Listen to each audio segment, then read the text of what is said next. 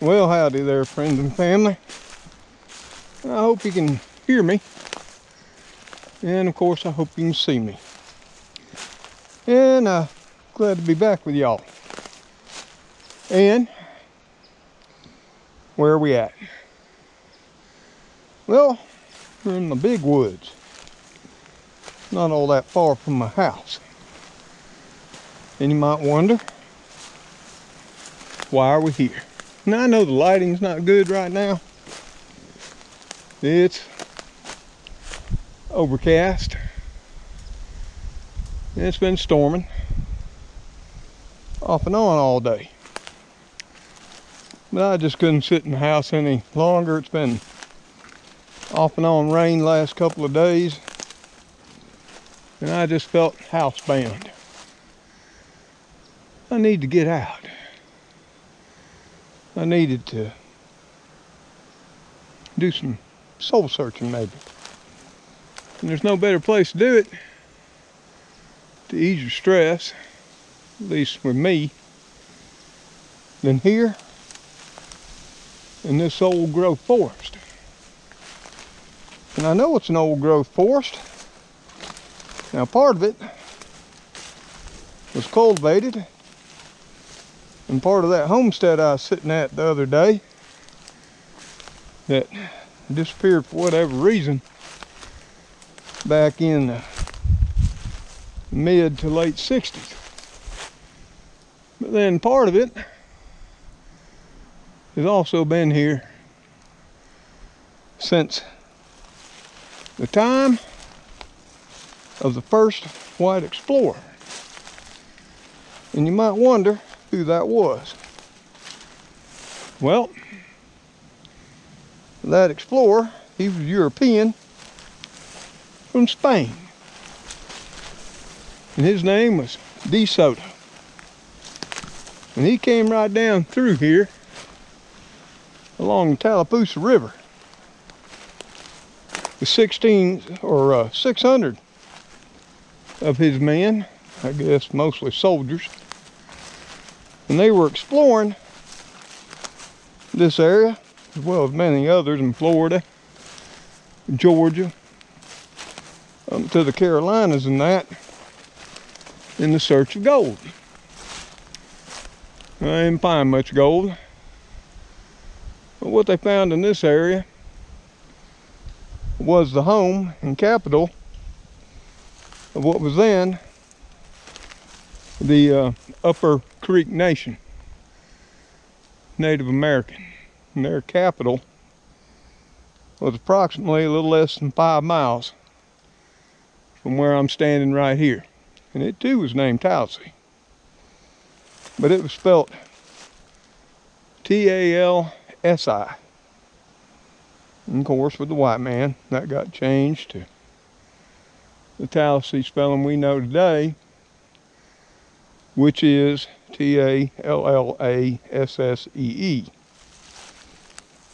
But anyway, there were a whole lot of Native Americans in this area. In this particular woodland where I am now, there was another small village of them, as there was a much larger village about a mile up towards north, many more. DeSoto. Him and his men came on down through here, and then they camped with the creeks. Down below here. For somewhere, according to historians, 15 approximately 30 days before heading west towards what we now know is the Mississippi River. That still don't probably tell you, other than I'm out here wandering and rambling, why I'm in this deep dark woods. Well, I've been thinking a lot lately. And all of y'all know I'm really very supportive of making sure you have adequate food resources on hand at your home and hopefully in secondary locations to support yourself and your family should some uh, life crisis event take place, whether that's a job loss, whether that's uh, a natural disaster, or some other thing. I don't prepare normally for something of a global nature or of a national nature. But here lately, I've been thinking that may change. And I'm not going to get into all the whys and reasons. I'll leave that up to y'all to wonder why. But what it made me start thinking about is how much food is enough. Now I prepare for myself, my daughter, my son, my grandson, four of us. That's about the best I can do. And I would like to think right at this moment, I have somewhere between two and three years set back, possibly more. And we could stretch that by immediately growing more on our property. And I have grown way much more. Especially if you look back at a video, I think it was called Past Times at Deep South Bama, something like that. I'll put a link in the description below. I used to grow a lot of food on my little half acre of ground for my family. But with just me here now, and those of you who have followed the channel and have seen, I grow a little bit, not a lot. I mostly do that to promote the fact that based on even little plantings, a little bit of ground, everyone can do it. Trying to encourage my daughter and my grandson, really which don't have their own place. But uh, I could always pick that up and grow a ton more. But all that being said, that would stretch everything out.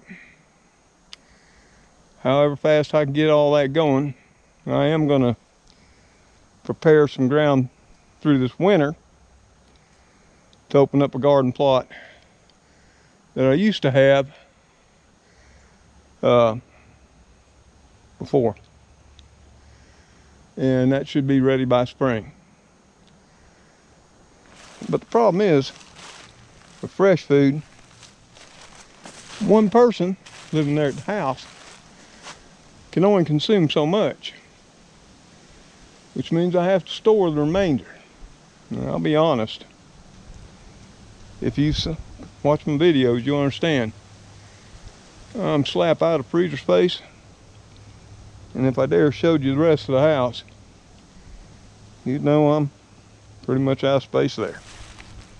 Plus, I have long-term freeze-dried food stored in a secondary location. So, but is that enough? that comes down to the question of just what happens. Of course, you know, if a meteor strikes Earth, probably not going to be enough. But there's a lot of talk about things, both environmental and political, that could have a far longer term effect on how much food as well as water, medical supplies, and other things we should have on hand. But the more I've thought about it, the more I've thought, you can still only have so much.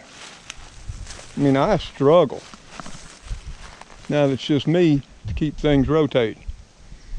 And a lot of what I have gets rather old. Still good though, trust me. Because as I work my way through it, I'm eating it. And as you can see as of today, Tuesday, December the 10th, I have yet to die or actually get sick. Course, you gotta use some sense there when you're uh, using up your old preps. You gotta smell them. You gotta look at them, see if they look right, smell right. When you open them up, you wanna make sure you get that vacuum pop, especially canned goods. And then you wanna make sure you cook them thoroughly. Albeit, you cannot cook out botulism, people. Understand, no matter how hot you heat that up, botulism will kill you dead. But here again, how much can you have back? So that's what I wanted to ask all of you out there. Now you don't need to put in the comments how much you got. Unless you want to. I just want your thoughts based on yourself and your family how much you think you need based on current environmental and uh, geopolitical politics of the time. So if you would, I had to put my glasses on. Because I'm seeing things here on the ground. You know, Lord knows. I don't think there's a speck of earth that man hasn't touched and left something behind. Let me show you here. See right here? That's an old canning jar. See that? That's a ball canning jar. Perfect mason. God knows how long that's been there.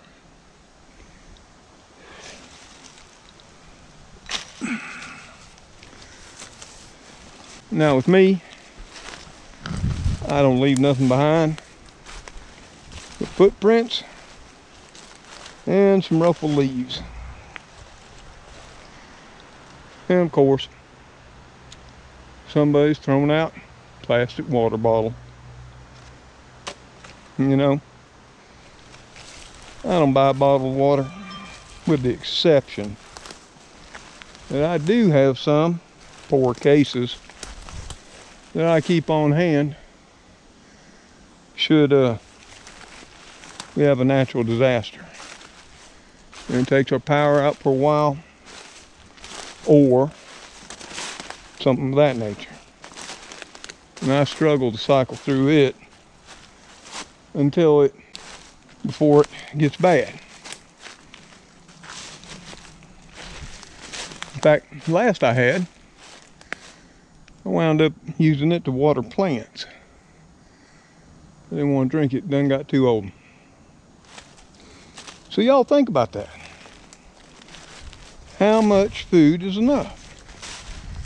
How much water is enough? And maybe you'll elaborate on why you feel the way you do.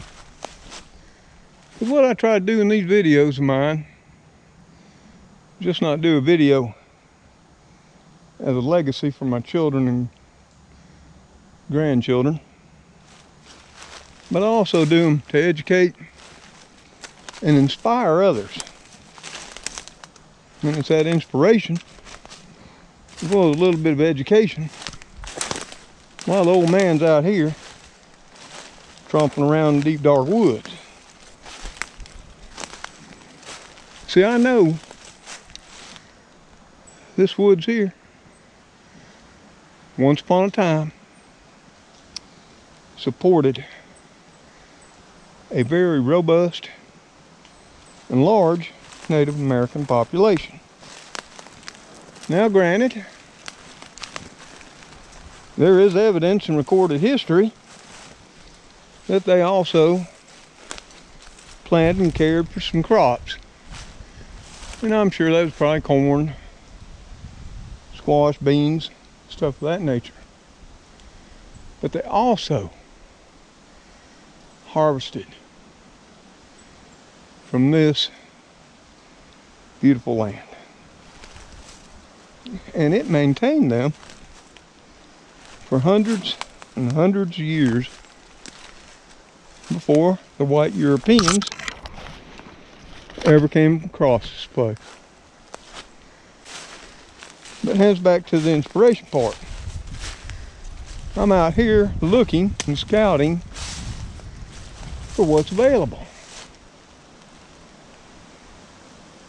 And there are a lot of things out here. And with the rain, there's a lot of opportunities, though I haven't seen any yet. I was looking for mushrooms. Haven't seen them. I have seen a lot of different native trees. There's some beech out here. There's uh, hickory trees. And there's some rather large longleaf pines. And there's muscadines. Let me show you one here. A vine. Here's a muscadine vine right here. See them all over there? Now granted, they go all way up in that overstory canopy. So it's going to be hard to get them muscadine grapes. They could be got. Now I'm sure long ago Native Americans figured out a way to do that. I'd probably figure out a way to harvest them too. But here's another thing I was looking at. And folks, whatever you do, don't download this video on your phone. Use what I'm showing you to go out in your area forage for wild food you need to get with a local expert and learn from him. I'm just out here on a scouting mission. Let me show you. See right there? That's a nice, soft, fresh mushroom. If it's not poisonous, it could be rather tasty. And I'll take a look at it. Right offhand, I can't really tell. Not gonna put that much effort into it. But there's a possibility. But that's another thing. Mushrooms can take you out in a heartbeat. Don't take no chances. Just like with bears, just because you see a bird eating them, don't mean they won't kill you either. As with so many other things out in the wild. You have to be educated. And that's where the inspiration part of this video comes in. Now, you may not have a nice big wooded old growth stand forest near you. But if it all goes bad, you might be able to make your way to one. And that, my point being, learn now while there's time.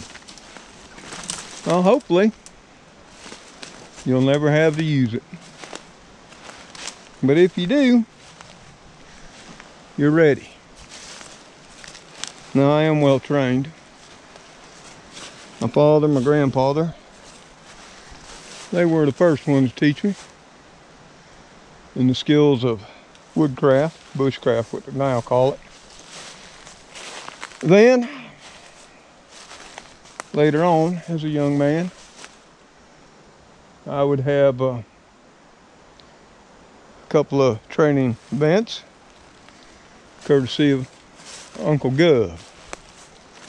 And uh, I feel pretty confident I can come out here, find the things I need to survive and to thrive. And I can teach them to my son and daughter. And my grandson, if I'm still living. You know, I actually used to take my children when they were young. And about once a month, we would go out into the woods. We were living in southern Tennessee at the time. And I'd take them out in the woods and we'd forage for food. And whatever we found, that would be our meal for that evening. And they really got a big kick out of that. They thought that was just amazing. Most amazing part of it was it was actually tasty.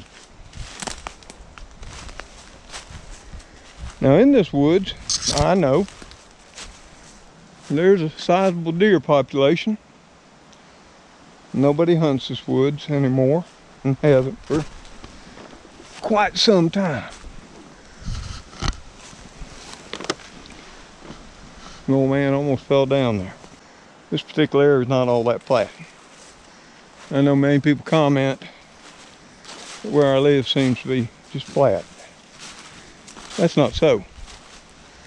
Now, I live on top of what they call the Piedmont Uplift, which is the last, you might say, shelf or ridge for the Appalachian Mountains before it drops off to the coastal plain.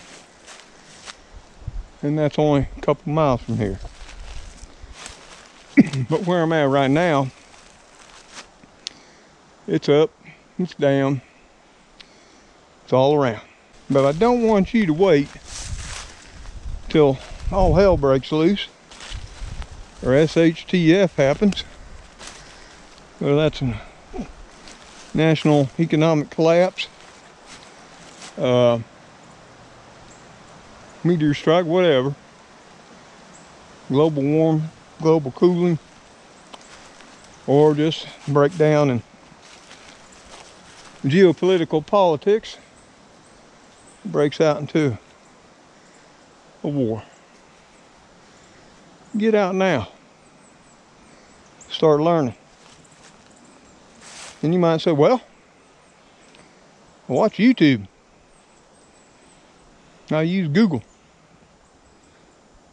No. You need to get with a local expert. Get out there. Have him or her point it out. Show you what you can. Eating porridge. What'll kill you. Because in every area, it's somewhat different. And once you become trained, you will always have that skill.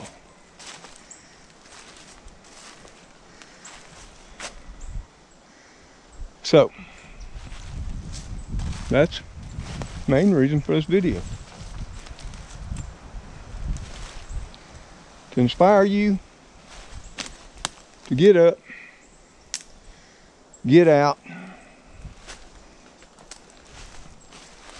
and learn that skill while there's still time.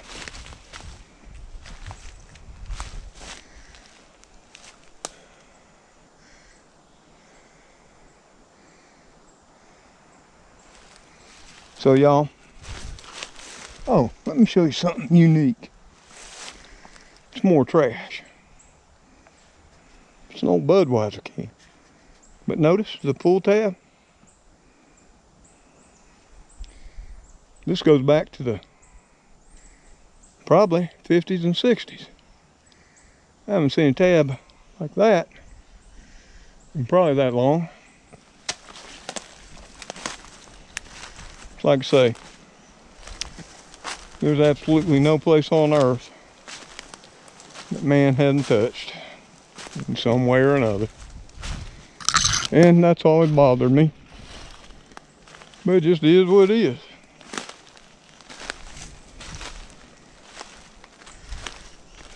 Can't take it away. Can't take it back. Now, I'm sure there's a lot more junk off in here a long time ago. And a lot of that has gone away. So, I'm climbing up top of another ridge here. And that'll make it easier for the old guy.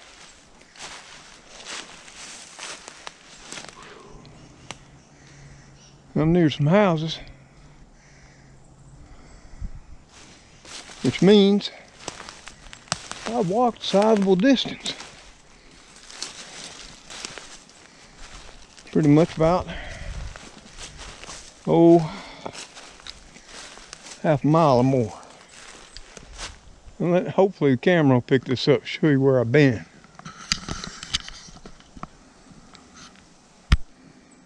You can see Just climbed up from there. in this whole area,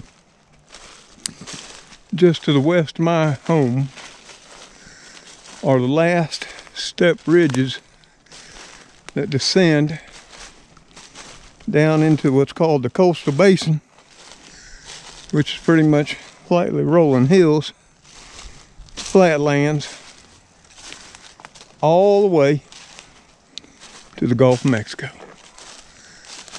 Course, ain't all far, that far from the Gulf of Mexico. But let me show you something that has long past left Alabama. It's right there in front of you. We're gonna head on up. You see that massive pine tree? See that one there to the right? And these others? Those are known as longleaf pine. At one time, they were everywhere in this state. You can just see by the sheer size of them. They were used to make cabins and homes, railroad ties, and ship masts. And they were about logged into extinction. That's another reason I know this is an old growth forest. Because the long leaf pines are still in here. Well, granted, they're not as heavily populated as the hardwoods are. But there's all kinds of hardwoods in here. Oaks, hickories, beech, and about every other species you can think of. It's actually extremely beautiful back in here and extremely peaceful. It's almost, I don't know, it's like it has a quiet, serene spirit of its own. Let me show you this tree here in front of me. Right here. This is a southern magnolia tree. And if you'll pay attention, we've walked by many of them in this old woods.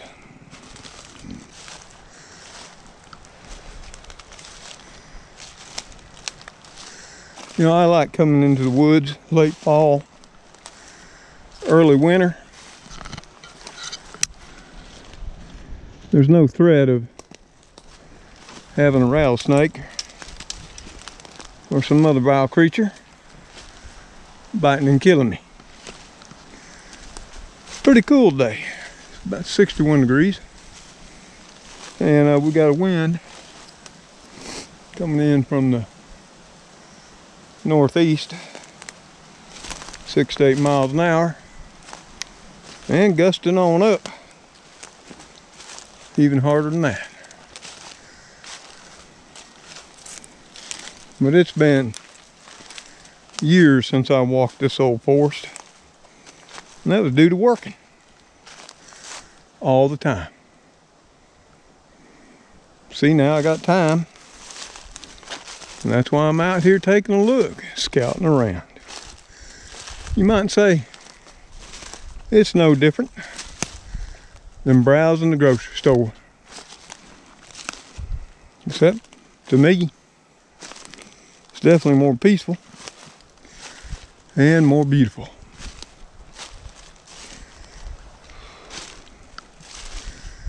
Plus, good exercise. Gets me out of the house where I'm just not sitting there worrying about things. Of course, once I get done traipsing through these woods today, I'm to spend some quality hours getting all this video footage edited for y'all.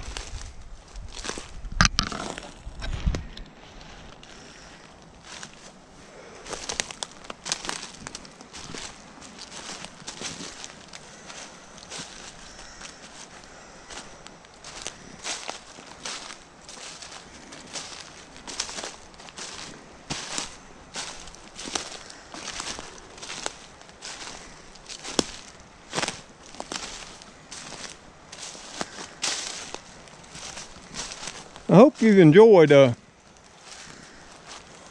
walking in the woods with me today and uh, listening to me ramble. I know a lot of my subscribers, they live alone like me, and they've said they enjoy my videos and they really don't care about what I'm doing, what I'm saying just keeps them from being lonely. I don't know if you can see it out there, there was a deer, whitetail, just running across. Way out there in the distance. I wish I could have got him for you. And big, beautiful. You know, there's deer here. There's turkey. And what I've never seen here has been uh, wild hogs. You go about five, seven, eight miles toward the south, down in the coastal basin flats.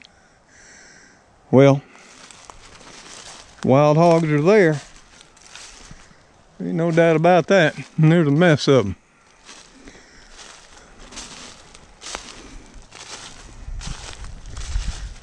Oh, and as we walked, you know, there's another little mushroom.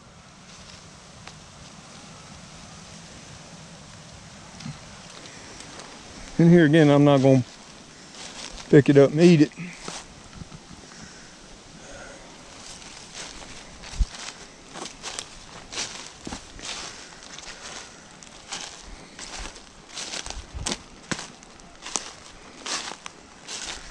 You see, folks, when you get really hungry, people are forced to do things they never thought they'd do ever before in their life.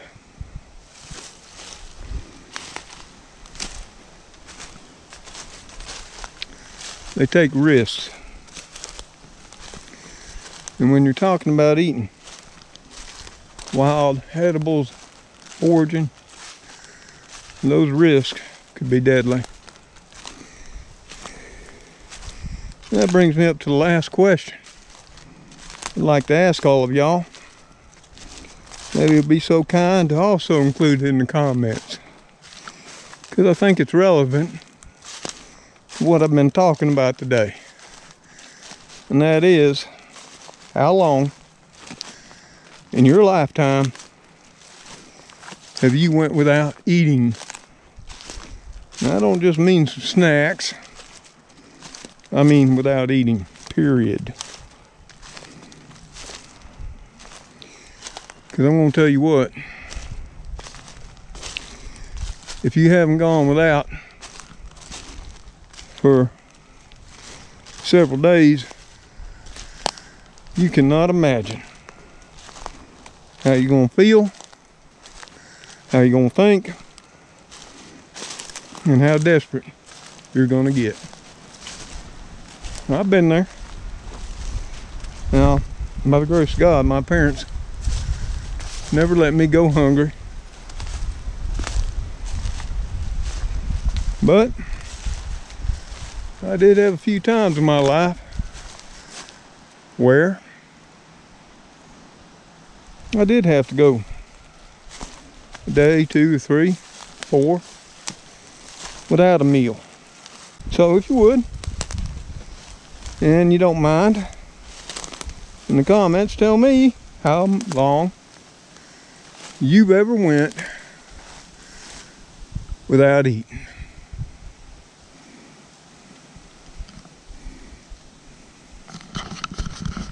Well, y'all, I got to head on out of here. I hopefully the lighting was good enough to see me. And the wind wasn't too bad that you couldn't hear me. But I'm coming to some uh, rough underbrush. And I'm going to have to put y'all away and make my way back through it. We've been out here a few hours, stomping around this place. Got a better handle on what's out here, just in case I need it. I gotta find my way back out of here.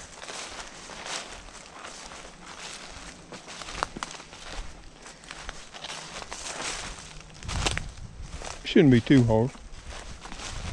It's only a couple thousand acres. How hard could it be? I'll be fine.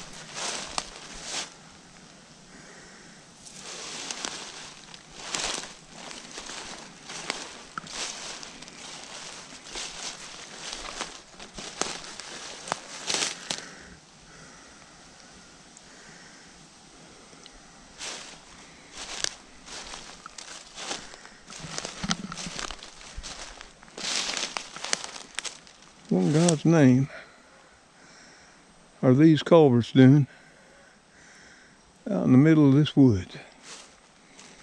And then, how did they get here? And they've been here a while. And I've never seen them before. Of course, I can't say I've ever went traipsing all around this woods like I have today. And here, folks, this comes to the point of what you just find sometimes in an area you think you know.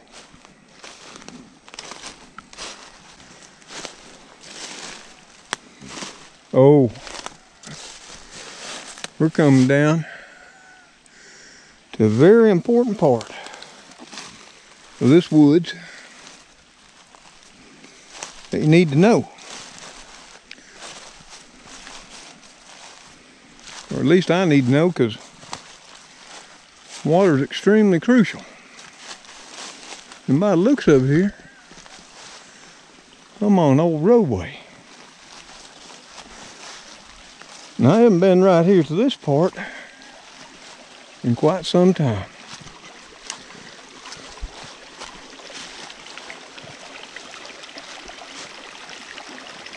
I got a nice stream here.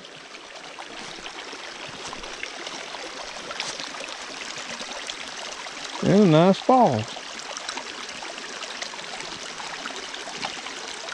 Downright beautiful. Imagine that.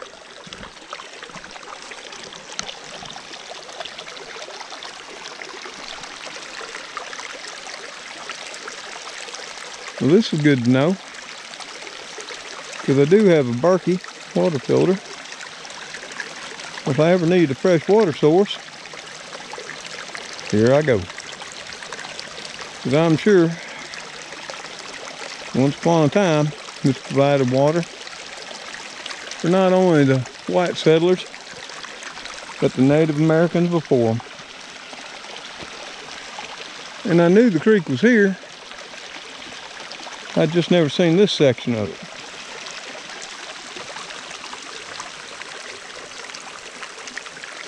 It's very tranquil. Very peaceful. I hope y'all can hear it.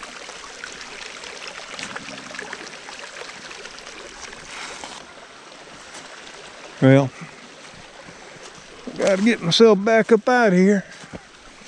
Ain't like I can call no Uber get the old man up out of here.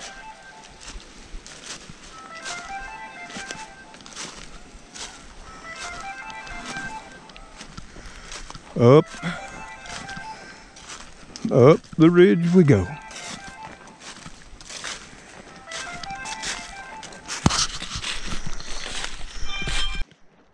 Yep, I think we made it. Heading on out of the deep woods. Won't be long now. I can see civilization through the trees. There's my big old water tank. It sits to the north. We made it out. Thank you, Lord. Appreciate your guidance.